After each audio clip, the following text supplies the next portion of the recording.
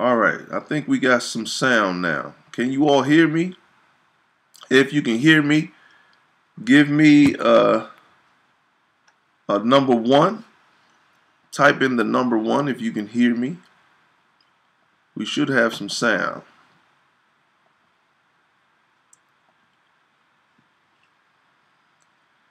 Type in the number one if you can hear me. All right, that's better. Okay. Whew. All right, we got that worked out. Well, good morning, everybody. And I that means I got to start the roll call all over again.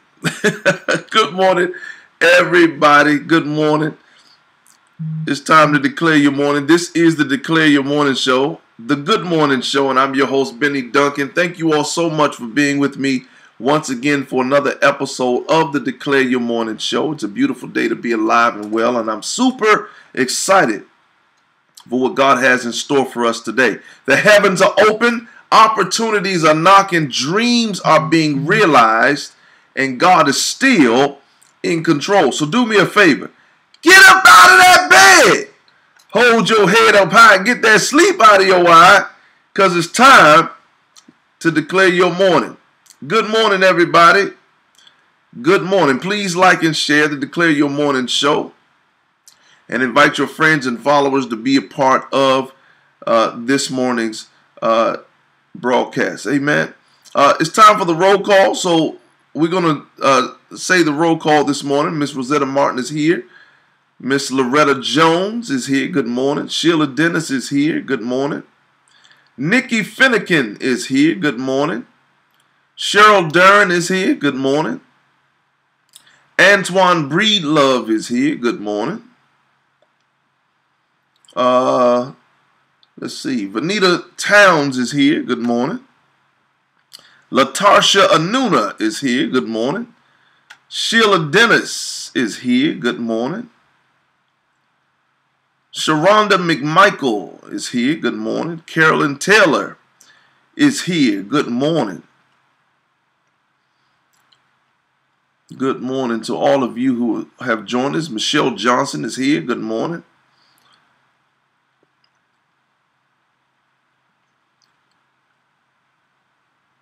All right. We are here. Now, do me a favor, please like and share.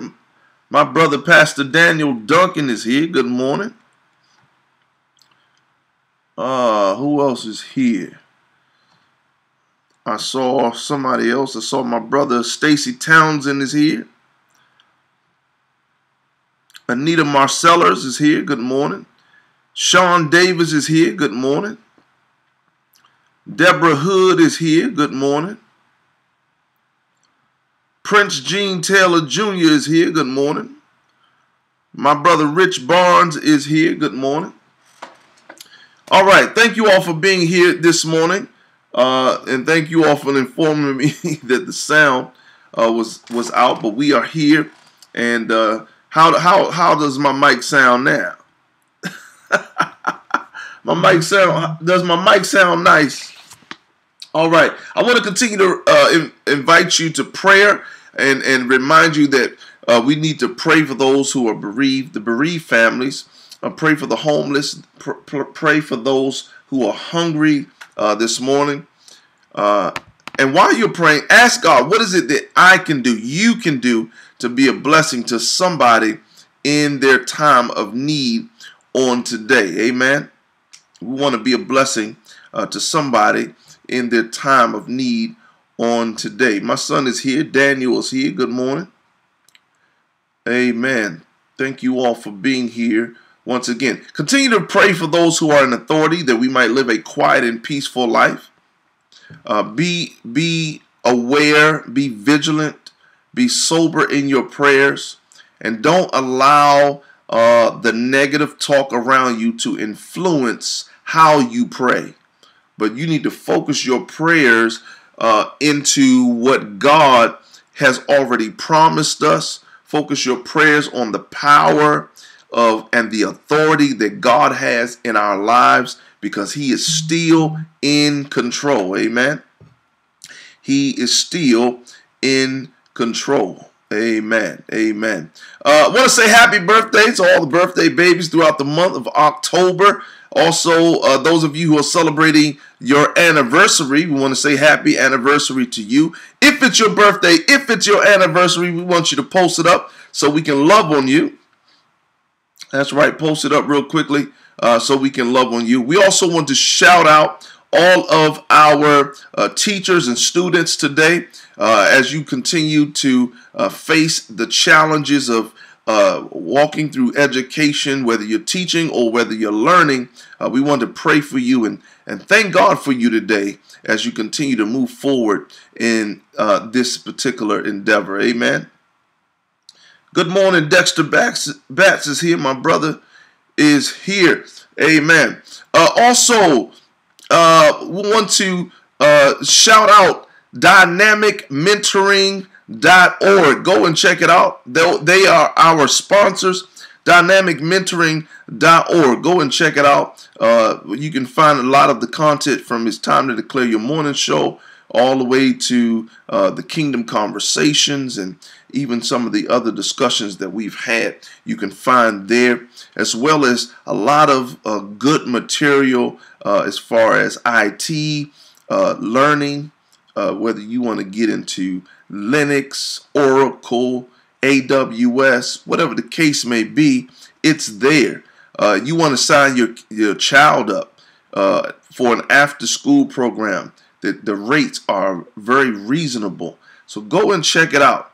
Uh, and not only are you going to get after aftercare for your child or even an extra skill that you may want to learn, but you're going to literally change your life. You're going to literally change your life. And so go over there and talk to my brother Tyrone Hall, uh, who's doing a phenomenal job over there at Dynamic Mentoring and, and really being a blessing over there. Amen. So dynamicmentoring.org. Go and check it out today. Good morning, Jamaica Johnson. Good morning. All right. And I want to thank God for all of you, our partners, those of you who continue to uh, sow into our lives here at Declare Your Morning Show, as well as the ministry of God's Purpose Ministries. And we thank God for all of you who continue to uh, sow and be a blessing to this ministry. We are expanding. You always hear me say that. And we're always expanding. We're always in, in, increasing and what we're doing in, in terms of how we present uh, the good news, the good news uh, that somebody needs to hear that's going to help them through their day, encourage their life, and take them to another level. So I want to encourage all of you uh, to continue to give. You can give by way of Cash App uh, through God's God's pur Purpose uh, Ministries. Uh, dollar sign God's purpose rather and dollar sign Pastor Bennie or PayPal.me forward slash Bennie Duncan if in fact you want to be a personal blessing to me. Make sure you separate the two. Amen. Amen. Make sure you separate the two. You want to be a blessing to the ministry. I want you to give directly. Uh, if you want to tithe, I want you to give directly uh, to God's Purpose Ministries. Amen. Amen. Amen. Uh, also, uh, I want to uh, thank God for my son in the ministry, Pastor Wake. I want to thank God for him. God is blessing him. Uh, we are literally right now, uh, we are planting a church, uh, several churches rather, in Liberia, West Africa. Liberia, West Africa. Uh, right now, uh, your your gifts and your seeds are helping us to bless and be a blessing uh, to those who are there in the villages of West Africa, there in Liberia. My son, Pastor Wake, um, and his wife are there in the villages, being a blessing to so many. And I want you all to say a special prayer for him and his wife and his ministry there uh, as they are in revival this week. And as we have, uh, since we have uh, connected and and and launched that ministry there. God's purpose, yes, God's purpose ministries has gone international. Uh, I mean, we've been an international ministry, but we have literally launched a church in Liberia, South Africa. And so now God is uh, placed his grace upon my life uh, to oversee uh, some other churches in other areas. So continue to pray for me and also continue to pray for Pastor Matthew Wake, his family, and his ministry there especially because they are in revival this week. And we are praying that miracles, signs, and wonders will be wrought in the lives of the people there. And we're praying that God will expand uh, the, the kingdom in the earth as we do his will. Amen. So, once again, thank you to all of our partners in ministry and those of you who continue to sow because you make it possible uh, for us to do what we what we're doing. Amen. God bless all of you in the name of Jesus Christ. Uh, I see my, my friend uh, Malik Kumbundu is here. Jamita, uh, Jamita Johnson Reed is here. Good morning. So thank you all for being here. I want to continue our discussion uh, on the principles of good decision making. So far, we've discussed uh, principle number one, which was identify the challenges that you face and define their purpose in your life. Identify the challenges that you face and uh, define their purpose in your life uh, to come up with an objective or a goal so that you can move forward. And we also said about that be clear and concise about your objective. Be clear and concise about the goals and the objectives that you want to uh, to achieve uh, in life.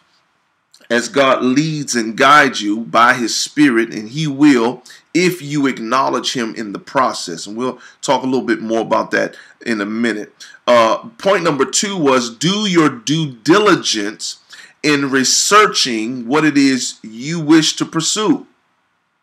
Do your due diligence uh, in researching what it is you wish to pursue or whatever whatever it is you are uh, getting ready to decide upon, whether it be a contractual agreement or um, whatever it is, whatever you're about to uh, uh, embark upon, there needs to be research done before uh, you just make a, a decision. Don't just jump at it because of impulse, right? Don't just jump it. That's so easy to do. Because, and I'm to say this to you uh, while we're on this subject, um, th that things have been designed to capture you. There's certain things, many things I'll say, there's systems and things that were designed to capture you. To literally pull on your heartstrings in such a fashion that you will react upon impulse.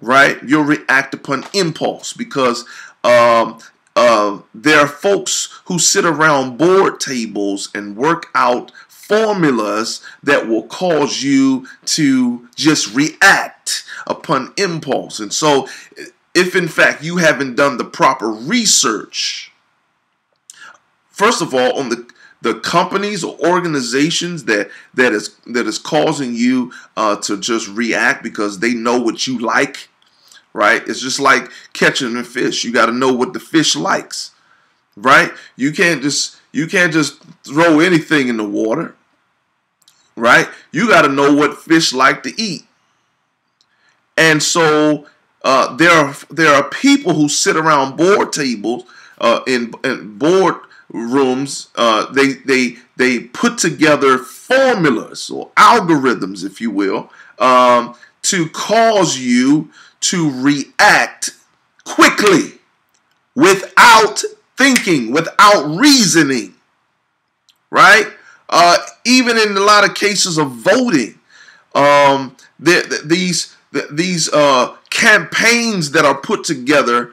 Uh, and and words that are said, words that are spoken, the things that are placed in the media are there to, to create an impulse reaction. And if you haven't done your proper research, you may be reacting to something or you may sign up to something or agree with something that is, uh, first of all, not a part of your core values and beliefs, which is part of point number three. Point number three was consider the many options that you have and narrow down your choices to the things that best support your core values and beliefs. That's point number three. Uh, for those of you who maybe weren't here, consider the many options that you have, right? And you have options, right? You have options. Don't let anybody put you in a bubble, right? This ain't the NBA. this is real life. Don't let nobody put you in the bubble. Don't let anybody put you in chains and and and call and steer your mind to thinking one way. Look at all the options, whether they be negative, whether they be good, whether they be evil, whether they be uh, medium, high, whatever the levels are, because you've already done your own research. Do your own research. Don't let nobody think for you, or don't let nobody push you or insinuate to you which way you need to move. But look at all your options. Yes, you have rights. Yes, you have uh uh uh yes, you know, a lot of times we are entitled to do certain things, but not everything um as Paul says, all things are expedient, but not all things are profitable. You got to look at the profit behind it. How does this profit me? How does this add quality to my life before I go jumping into something? Right? Before I go just uh, because the, this is more money than I've made all my, than all my life, I go just jump into it. Well, is it going to best support my core values and beliefs? And I, am, am I going to spend more time doing that than supporting the very things that I've built up in my life as a core value and a belief? Or am I going to be going after that and being pulled away from the very things that God has blessed me with? God has blessed you with a family. God has blessed you with a spouse. God has blessed you with children. God has blessed you with connections. Well, are you going to be pulled away from your friends, your family, your connections, your children, so that you can go chase a dollar? The question is now, is it worth it? To me, it's not. It's not worth it. Okay? It's just not worth it. And many people already know and they've already decided in boardrooms that we can get you to do what we want you to do as long as we tag the right dollar amount to it. Some stuff is just not worth it, folks. If it does not support your core values and beliefs, if it doesn't add quality, if it's not profitable to you, you may want to consider doing something else. Okay? I've gotten to the place where I have got too old to, to, to be playing around with folks. Whatever decisions I'm going to make is going to be profitable to me. It's going to be profitable to me. Okay? It has to be profitable to me. And it has to be profitable to me because I'm considering those who are connected to me. I'm consider listen, that's not a, that's not even a word we use a lot anymore, right? Because we're so selfish. You know, we got that's why we got selfies. We got we are we are in a society of selfishness. Where we spend three fourths of our day taking selfies. I see I see people in their car just putting makeup, women in their car just putting makeup, dressing their face up just so they can take a selfie and they spend 25 more minutes just just looking at themselves. Just that's 25, 30 minutes wasted just looking at yourself.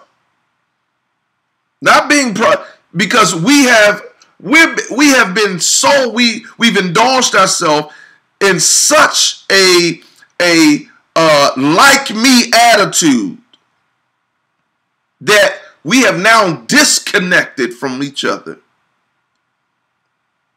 Can you imagine that the recommendation all across the world for quote unquote safety let's just say in America, but mostly all across the world, they're telling you stay six feet apart. So let's just take America for instance. They're telling you take stay six feet apart. I wish I had time to really tell y'all what all that really meant, but stay six feet apart. But keep the selfies going. Keep just keep keep the selfies rocking and rolling. Stay selfish, but don't don't connect with nobody. All right, so that's going that seg, segues me right into point number four. Here it is. Point number four is this: is have an accountability team of wise counselors to assist in your decision making.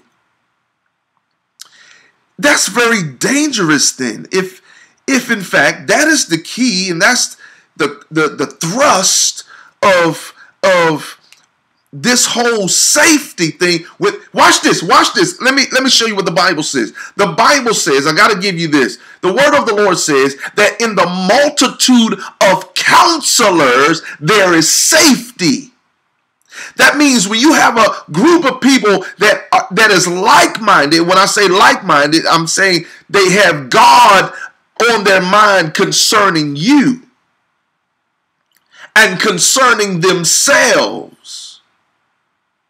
That in the multitude, the more people who come together, that's safety. But they're telling us that our safety is in separation. Oh my God. They're telling us that our real safety is when we separate, and God is telling us is our real safety is going to come when we come together. So the question is now, who whose report you going to believe? God is really saying, if you listen, there is a protective principle to coming together and having wise counsel around me to help me make the decisions that I need to make. Now, let me help you with this. I want you to I want you to um, type this in. Seek wise counsel. Seek wise counsel. I hope I'm teaching you good this morning. Te- uh, seek wise counsel. Okay, so here, here, here it is. Here it is. It, uh, when you seek wise counsel, the first thing you need to do is seek the Lord.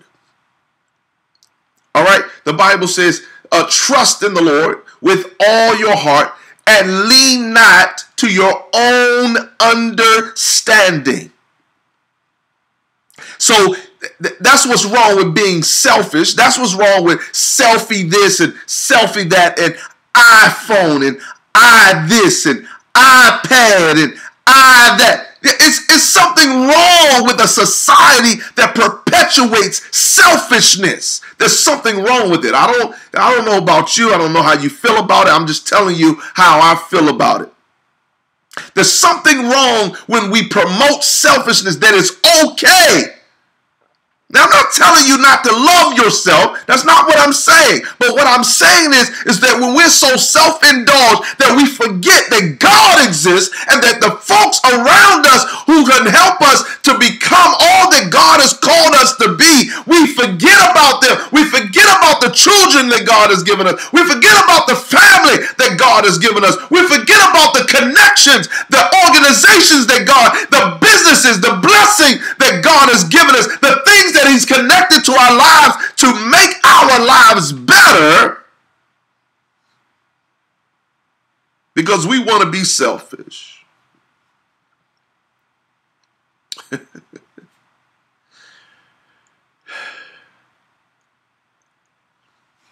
I want you to do this for me today. Here's a challenge. I want you to, while you're on Facebook, I want you to find reasons to be a blessing and to encourage somebody else. Because it's easy. I mean, it's easy to get caught up in the game of, you know, I, I, I want to be liked. I want to be famous. I want to be this and I want to be that. And that's wonderful if you, you know, if if God has blessed you in that in that way. But don't seek after something that it may not be yours. It may not even be something that you really want. Okay? It may not even be something that you can handle. So, in seeking wise counsel, watch this. The first thing you need to do is seek God. Seek God. Because God will show you who your counselors should be. Okay?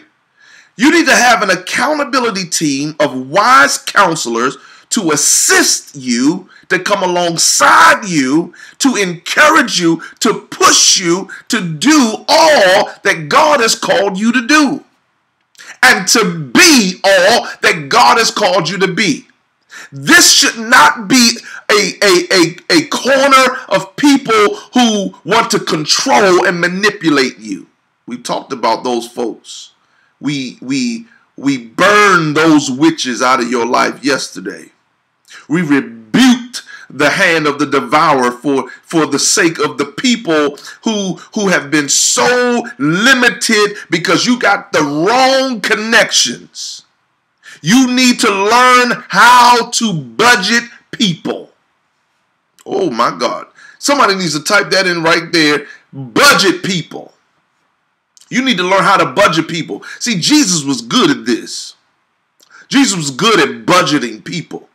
Jesus, when he wanted to speak a word, he would talk to the multitude. When he wanted to perform miracles, he performed miracles for the multitude. Multitudes came to him and brought their sick, and brought their lame, and brought their blind, and, brought, and brought their deaf and dumb, and he healed, the Bible says, all of them. That's the multitude. When it happened a uh, hangout, he would hang out with the 12. If you wanted to commission somebody, he would commission 70. He commissioned 70 to go out. He hang, hung out, he discipled or disciplined 12.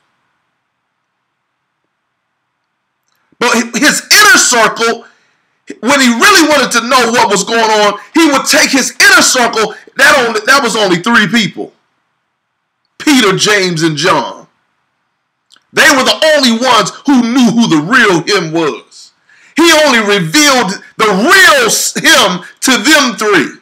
Took them up on the mountain of transfiguration and showed them the glory before nobody else, before anybody else. He said, this, this is the real, this is how I really operate. It was them he showed Moses and Elijah to. You got to learn how to budget people. See, the, the, the problem with many of us is that we're revealing too much of ourselves to the wrong folk. You got to know who, who you can talk to. You got to know who you can confide in. See, the, th- the three, the three that was his inner circle, they could rebuke Jesus. You remember Peter did it on, on a regular basis. I mean, he got, you know, he got he got checked uh, several times because of it, but he could rebuke Jesus. I mean, he was close enough that he could say, Jesus, that ain't gonna happen to you. Right? Your see, your closest inner circle of people should be able to rebuke you and tell you, brother, you're going the wrong way. Or even encourage you and say, you need to get up from there. It's time to move forward. You've been sitting on this thing long enough. You know God has placed something in you. They, see, your inner circle of people who to stir you up and tell you, come on, let's go. It's time to get this. You can do this. They're to lift you up. They're to tell you what's right and they're to tell you what's wrong. That's your accountability team of wise counsel. 12 disciples, you had one of them that was, he was a hater. on the team the whole time. See, you can have you can have some one of your pupils or your the, the disciples. Somebody on that team is probably going to hate you. But you need them on the team because without them, you ain't going to go to the next level. But that's another subject for another day. But I'm talking about the accountability team of wise counsel needs to be a small group of people who understands who you are to the very core, the real you. I mean, you can tell them your stuff. And they're not going to judge you. They're not going to beat you down. They're not going to clobber you over the head. They're going to encourage you. They may even have to rebuke you, but they're going to rebuke you in love. They may even have to uh, reprove you, uh, give you some advice that, that may not feel so good, but it's going to be for your good. My God, not everything that feels good is for your good. But they, these accountability team are going to be a people that God has led you to that you're going to pick specifically that are close enough to you to keep you accountable to doing what it is God has called you to do.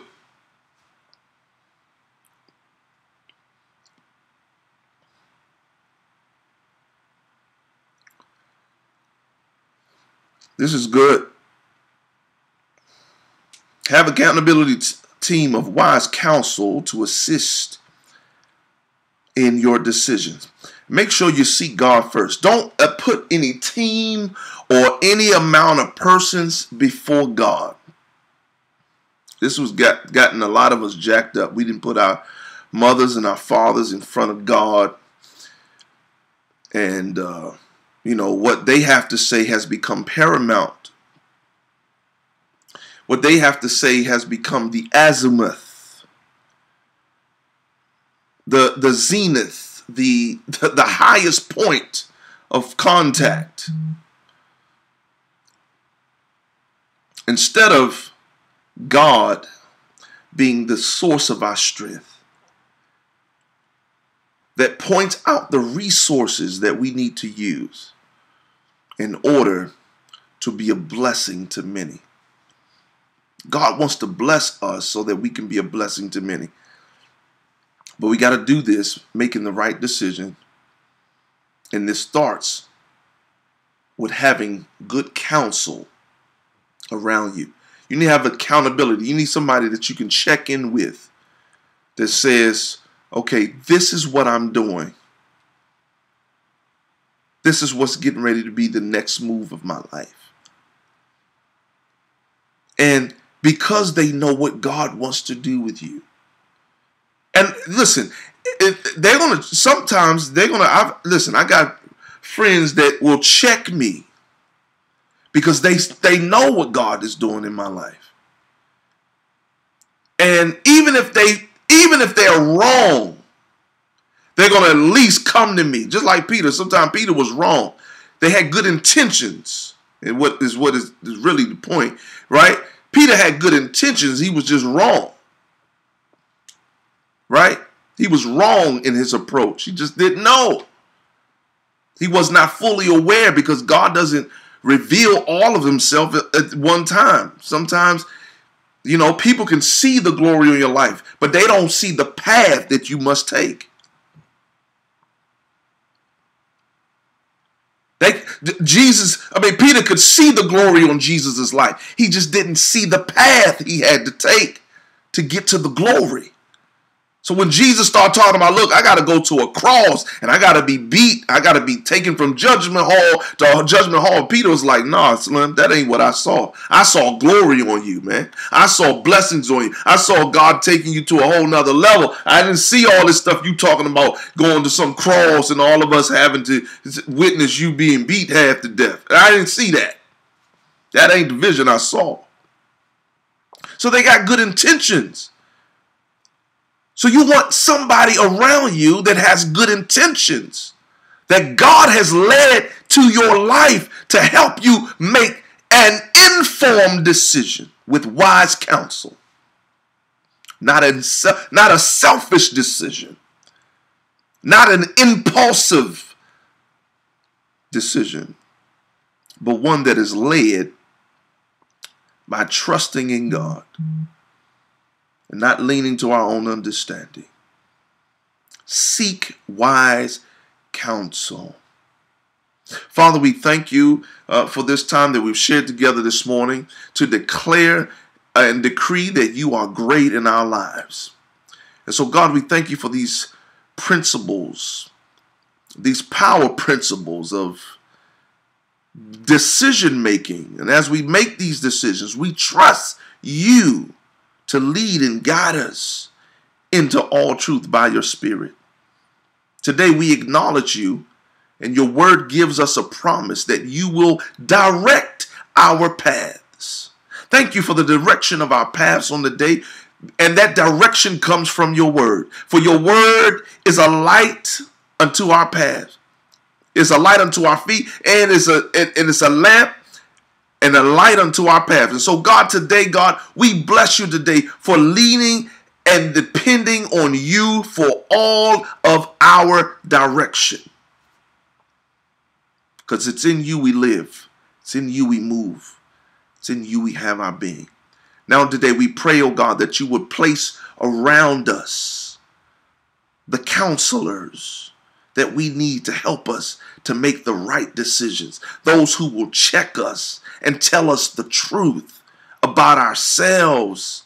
And even when they're wrong, they have good intentions. They come to us in love. They come to us out of concern. And they come to us with your wisdom and your knowledge. They come to us open to your spirit. They support our core values and our beliefs today. And so, God, we thank you that the spirit of wisdom is upon us today, that we may not move by our impulses, but by your spirit as we make informed decisions today. In Jesus' name we pray. Amen, amen, and amen. Well, I got to go. But I want to let you know that you are victorious and God is on your side. Make sure you look everybody in the eyes and smile. Speak first and last. Show the love of Jesus Christ because he's been so good to you. Ain't no need of walking around with no frown, but turn that frown upside down. It's time to declare your morning. And I got to go. But I will not let you go until I give y'all some of this or uh, some of this feel-good music. Some good morning music. Good morning. Good morning. Good morning, everybody. It's time to declare good morning. It's a beautiful day, so put a smile on your face. Yesterday's gone away, and today's a new day for you to smile. Tell everybody good morning. You'll feel so much better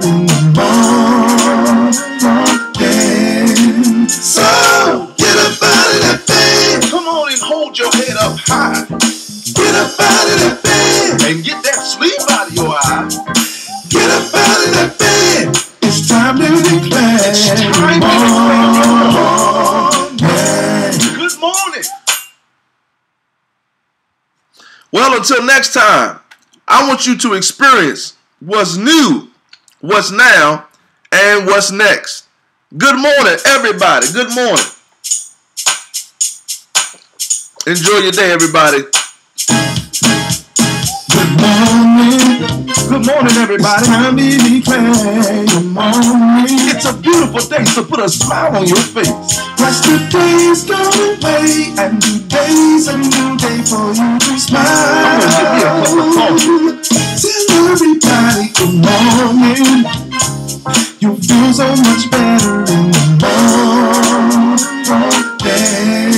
So get up out of that. Come on and hold your head up high Get up out of the bed and get that sleep out of your eye. Get up out of the bed. It's time to play. It's time to play. Good morning. I love you.